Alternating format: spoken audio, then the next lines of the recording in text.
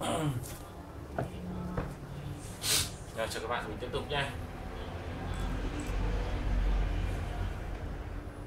Không phải xóa, vẫn cái bài về quy đồng mẫu thức các phân thức này. Đây, sang ý B.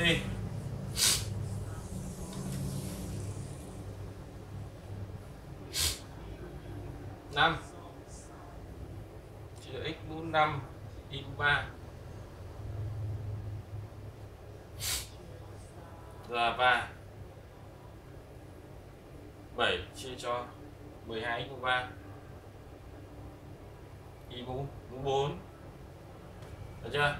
À, và lưu ý các bạn thì về cái hàm số mũ như này. Đúng không? Thì à, các bạn đã học rồi nên là thành ra là mình cũng không nói quá nhiều quá sâu về cái vấn đề này. Thì ta chỉ tập trung để quy đồng mẫu thức hai cái phân thức này thôi. Vậy thì ở đây cái bước đầu tiên cái bước đầu tiên để ta tiến hành quy đồng ấy, thì các bạn nhớ lại đó là gì nhỉ? Đó là tìm mẫu thức chung, đúng không? Nếu như mà những cái dạng nào nó khó, nó ở dạng à, gọi là đơn thức, đúng không?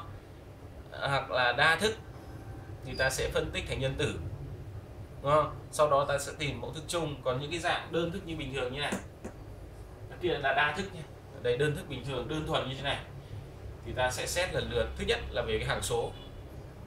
Làm nào để chia hết cho cả hai mẫu? Cái thứ hai là về ẩn. Đấy.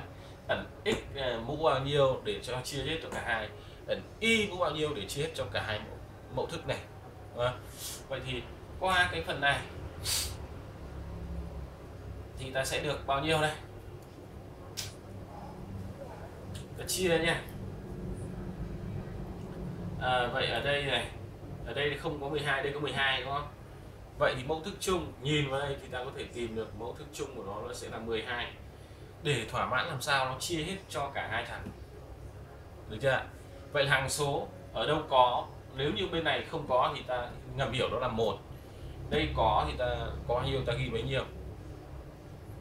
Và tiếp theo đến mũ số mũ x nhé ở đây mũ 3 nhưng đấy mũ 5 vậy thì phải theo thằng lớn đúng chưa? Phải theo thằng lớn. X mũ 5 thì nó chia hết cho cả x mũ 5 và x mũ 3 nên là bắt buộc ta phải lấy x mũ 5 còn y thì sao? Y mũ 4 y mũ 3 vậy thì ta phải theo y mũ 4 để chia hết cho cả hai. À, vậy là cái quy trình tìm mẫu thức chung đã xong. Bây giờ vấn đề của ta là sẽ tìm sẽ quy đồng nó lên thôi mẫu thức chung rồi. Đó là cái bước thứ hai. Cái bước thứ hai là lấy cái mẫu thức chung này chia cho mẫu thức riêng được bao nhiêu nhân cả tử mẫu với cái số đó. Đây chưa? À, vậy thì chia thằng này cho thằng này. Thì ta được bao nhiêu? Đây 12 chia thằng này sẽ vẫn là 12 x mũ 5 chia mũ 5 1 y 4 chia 3 thì còn còn y. Vậy thì chia cho thằng thứ nhất thì nó sẽ còn bao nhiêu nhỉ? 12 à, 12 nhân 1 à còn y mũ 3 Đúng không? Vậy thì con này quy đồng ra thì nó sẽ bằng gì? 5 nhân 12 bằng 60 y mũ 3 ở dưới nó sẽ là 12 x mũ 5 y mũ 4 được chưa? Và con này thì sao? 12 chia 12 hết. X mũ 5 chia mũ 3 còn x bình phương.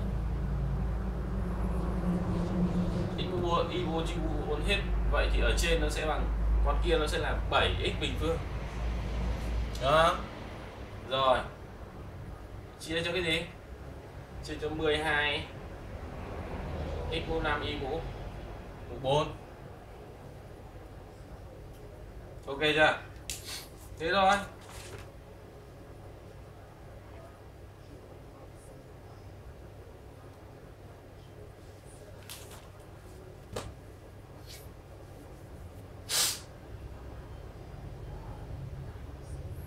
vậy ta giải quyết xong. Ý B